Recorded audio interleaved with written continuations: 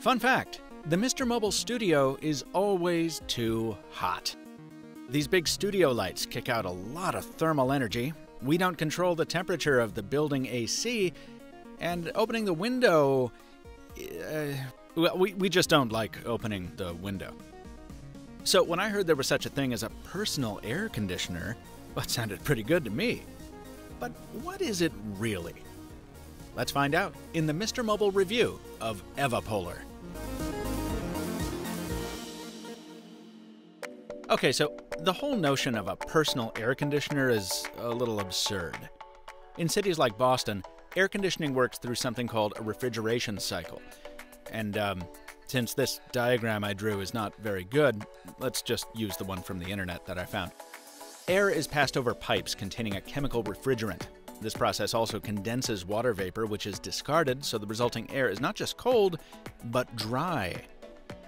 Evapolar does the opposite of that. It's an example of what's called an evaporative cooler, or what they used to call a swamp cooler. LOL.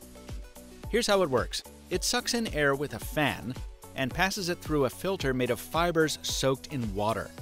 As the air passes through the filter, it expends energy, turning some of the water into vapor. And that energy loss causes the air to cool off. It's that cooler air, along with the water vapor, that ends up on you. This isn't going to cool down a room, because it's only good for about 30 square feet, a small region that Evapolar calls a personal microclimate. And once I allowed 10 minutes for the filter to get fully soaked through, it certainly felt nice, especially when an early flash of summer sent the temperature soaring in the model shop, where I spend some weekends. I even tried using it on a ferry boat, which I'm sure didn't confuse or alarm any of my fellow passengers. You control fan speed through the dial up top, where you can also do important stuff like change the color of the lights in the water tank. Since there's no compressor or anything, there's very little noise, just the whir of the fan. You can expect to refill the reservoir a few times during the course of the day, but Evapolar doesn't draw much current, so if you can't reach a wall outlet, you can actually power it with a battery pack. What's not great about it? Well, because it's an evaporative cooler, it only works well in dry heat. Very humid environments nullify the process that makes the whole thing work. And because it's powered by water, it leaves water everywhere unless you keep it absolutely level. So keep a rag around until you figure that out. Also, the filter needs to be changed about twice a year. Each of those is 40 bucks a pop.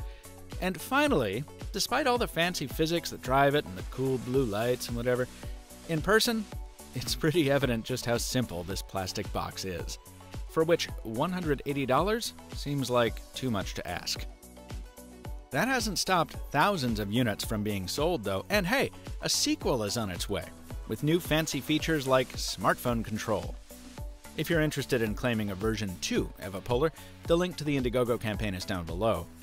The usual crowdfunding risks apply, but Evapolar managed to deliver the first batch without incident, it seems, so this is probably a safe bet if you've got some extra money lying around, and you're sold on the idea of your own personal swamp cooler. If you're interested in Mr. Mobile reviewing the Evapolar 2, drop a comment below. Until next time, keep it cool. Thanks for watching, and stay mobile, my friends.